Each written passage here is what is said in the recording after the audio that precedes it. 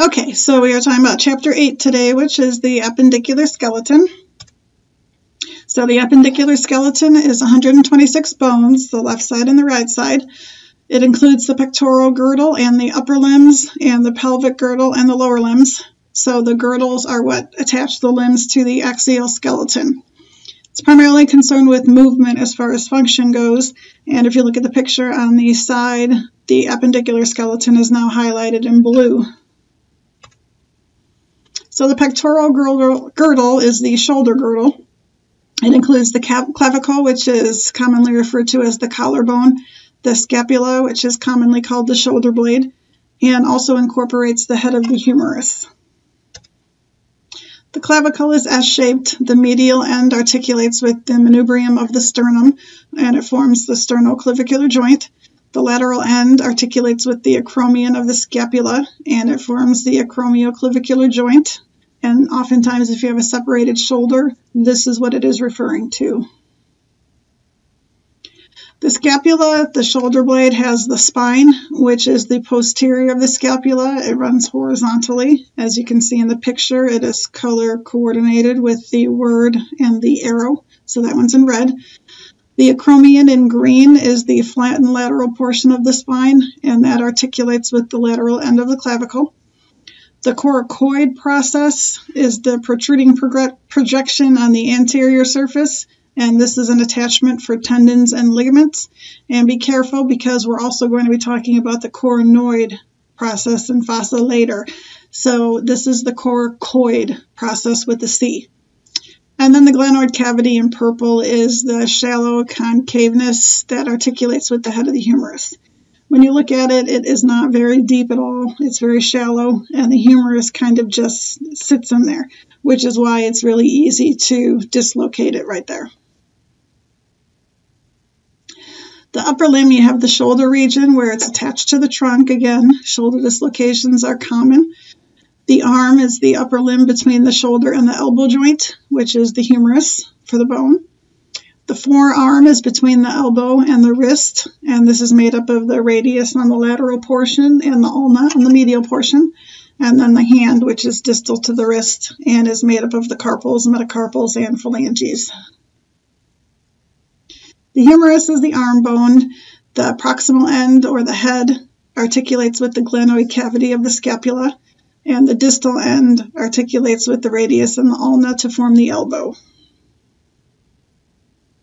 landmarks, the tubercles, you have the greater, sorry, greater, which is more lateral, and the lesser, which is more anterior. And those again are rounded projections. The intertubercular sulcus is the groove between these two tubercles, and that's where the biceps head is located. The deltoid tuberosity, the epicondyles that you have the lateral and the medial, and then the condyles. You have the capitulum, which is the lateral condyle. It's proximal to the head of the humerus. And the trochlea, which is the medial condyle, and it's proximal to the ulna. And if you look at them, they're kind of shaped like a, a tie almost, a bow tie almost. And the trochlea is kind of the more flattened end. So if you think of a T for trochlea, is the kind of more flattened end as opposed to the rounded capitulum. The ulnar nerve goes through the medial epicondyle, and this is when you hit your funny bone. That's where the tingling sensation comes from. The neck supports the head, and you have the anatomical versus the surgical necks, and those are rounded over on the picture to the side. And then you have the fossa, which are shallow depressions. The radial fossa, which is in red, is where the radius articulates, and the coronoid fossa which is where the ulna coronoid process articulates. And then you have the olecranon fossa on the posterior portion. And this is where the olecranon, which is the top portion of the ulna, articulates. So again, the coracoid is on the shoulder, the scapula. The coronoid is here in the, in the upper arm, the limb, sorry. So the radius is the lateral, your thumb side of your forearm. The ulna is your medial or your pinky side of your forearm. The radial and ulna diaphyses are connected by what's called an interosseous membrane. So that interosseous membrane you can see is like a meshwork that connects those two bones. So it kind of limits the movement there a little bit. The radial ulnar joints, you the radius head articulates with the ulna, and then distally the ulnar head articulates with the radius. And you can see those are color coded as well. So the radius, the radius head is the proximal portion. The radial tuberosity is right below that, and that attaches the biceps. And then the radius styloid, or the styloid process, you have the lateral and the distal end. So it's kind of on the outside, further away from the point of origin, so further away from the shoulder. And it kind of points down a little bit. On the ulna, you have the olecranon, which is the posterior side. You have the trochlear notch, which is that inside of the C. If you look at the ulna, it kind of looks like a C. So that inside of the C is the trochlear notch and that's where the trochlea sits. And then the coronoid process and the radial notch. So the radial notch is where the radius sits. And then that coronoid process is what goes into or articulates with the coronoid fossa. Distally speaking, you have the styloid process and the ulnar head. So if you look at the styloid process again, it's on the medial side and that kind of sticks down a little bit as well.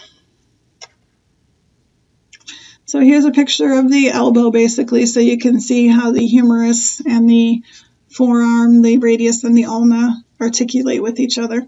And then you can see all of those things labeled that we just went over. So make sure you look through it so that you kind of understand how the elbow works. The hand is the wrist, the palm, and the fingers. So the wrist are the carpals. You have eight carpal bones arranged in two rows. The palm is the metacarpus. You have five metacarpal bones labeled one through five. Each one has a base, a shaft, and a head, which are your knuckles. And then the fingers. You have three phalanges except for the thumb. So you have a proximal, middle, and distal on all of the phalanges except for the thumb. And again, labeled one through five from lateral to medial. Make sure you go over those um, carpal bones as well.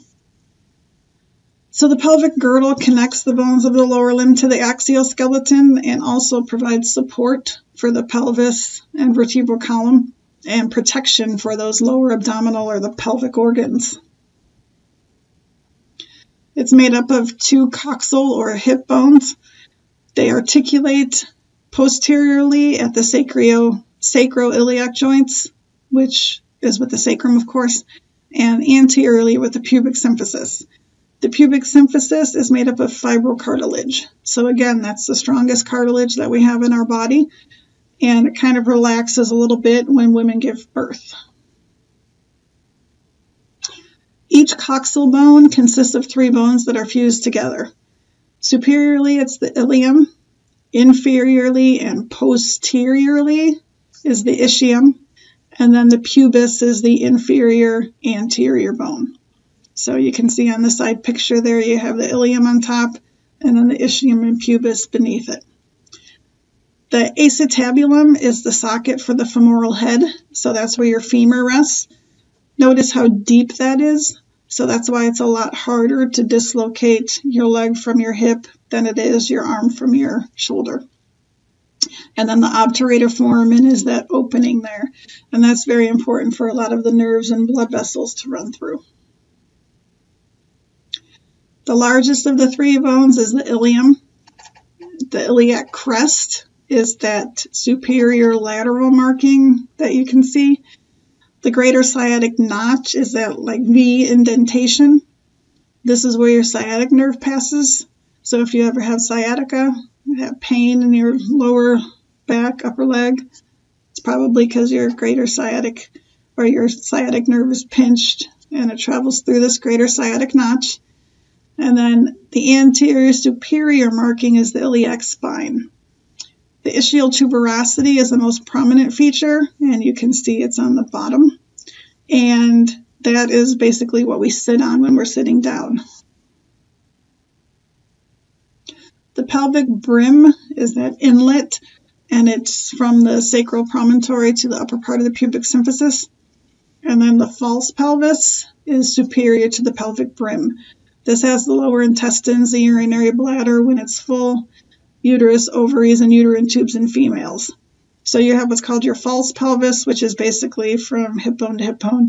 And then you have your true pelvis, which is where a baby that's being born is actually can pass through. As I just said, so your true pelvis is inferior to the pelvic brim right below it. It has the bladder, the vagina, and the cervix in females and holds the prostate in males. So there's your false pelvis versus your true pelvis. So false pelvis is basically from hip bone to hip bone. True pelvis is the actual opening. Some differences between males and females. Female pelvis is lighter, it's thinner, it's more shallow, but it's wider. And that's, of course, to accommodate a fetus growing. And then the male is heavier and thicker. It's more narrow but deeper. If you look at that pubic arch on the bottom of each one, in females it's greater than 90 degrees, and in males it's less than 90 degrees. And that's actually the fastest way to tell the difference between a male and a female pelvis if you look at that pubic arch. The lower limb, you have the gluteal region, which is between the iliac crest and the hip joint, the thigh between the hip and the knee joint, which has your femur, the leg between the knee and the ankle, which has your tibia and fibula, and the foot, which is distal to the ankle and is made up of the tarsals, metatarsals, and phalanges. So the femur is your thigh bone. It's the longest, heaviest, and strongest bone in our body. The proximal end is the head, and the acetabulum of the hip bone, bone, sorry, form the coxal joint. So the head of the femur goes right into that acetabulum. And distally speaking, you have the medial and lateral femoral condyles that articulate with the tibia, not the fibula, and form the knee joint. It's very important to note the knee joint. The tibia is the bone that forms the knee joint. The fibula is off to the side. It's the smaller, thinner bone of the two. It also articulates with the patella. So the head, you have the fovea capitis, where the ligament connects the head to the acetabulum. The neck is the very common site of a fracture, so oftentimes if somebody says you have a broken hip, that's the part that breaks. You can get artificial replacements as well. And then you have the greater and lesser trochanters. The greater is superior, the lesser is inferior. And again, they're color coded.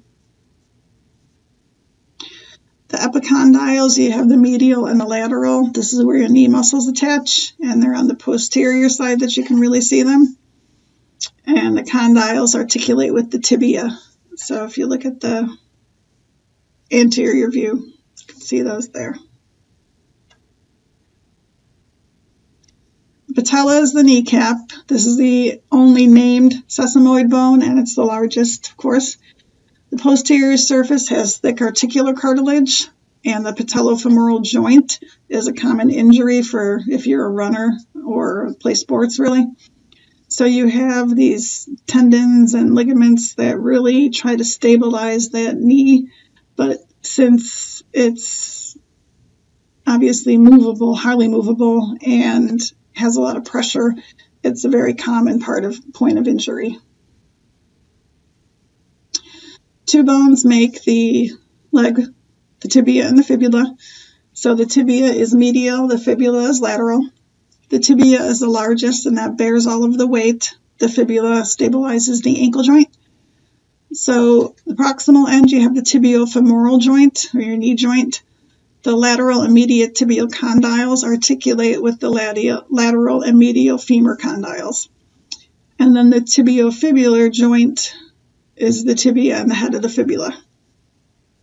The distal end, the fibula stabilizes, and the tibia of the talus, which is part of your ankle tarsals, and then the tibiofibular joint, your tibia and your fibula again.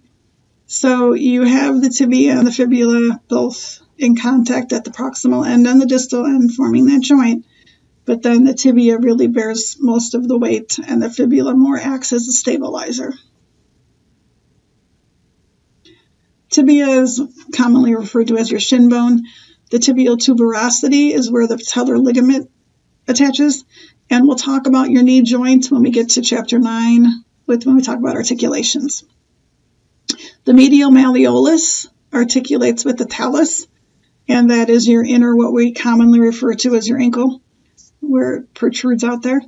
And the fibula has the lateral malleolus, which articulates with the tibia and the talus at the ankle. So again, your outer ankle joint, which we commonly refer to, the outer protrusion there. So the tibia and the fibula, just like the radius and the ulna, are attached by that interosseous membrane. So again, it helps kind of stabilize it a little bit and helps prevent movement between those two bones, excessive movement between those two bones, that is. The ankle is made up of seven tarsal bones. So again, just like the carpals, the wrist bones, familiarize yourself with these tarsal bones. The calcaneus is the heel. That's the largest and the strongest. And the talus is what articulates with the tibia and the fibula. So make sure you go through those seven tarsal bones. If you have any questions, make sure you ask. And make sure you go over the carpal bones and again, ask questions. The metatarsals, five bones, one to five, just like the metacarpals. These form the arches. And then the phalanges, three bones each, just like on your hands, the proximal, middle, and distal, except for the big toe, the hallux, that only has the proximal and the distal. Make sure you read the homeostatic imbalances and medical terminology in your book. But again, there isn't a whole lot of new things really here because we've been covering bones for a little bit now. So make sure, of course, osteoporosis is a big one and fractures because when we age, our bone starts to become more porous, it starts to weaken.